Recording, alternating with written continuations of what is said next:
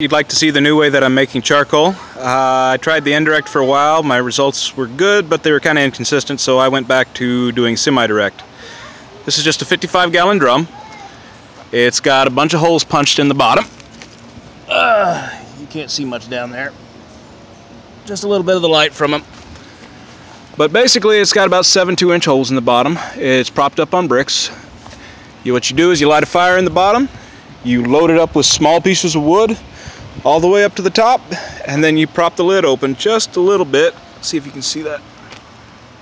And I got it propped open with a small rock. It's very very very smoky during the first 10 or 15 minutes.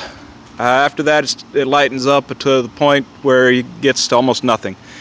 It puts out kind of a brownish or whitish smoke towards the beginning. Uh, after it's been doing that for a while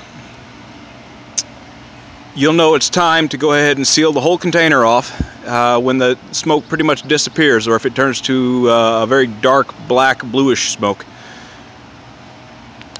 What you do uh, at that point is you shut the lid down, you take it off the blocks, you put it over on the ground and then you seal it off with some wet sand around the bottom so no air can get in. That gives me about uh, maybe 35-40% charcoal. Anyway, good luck if you try this. Bye.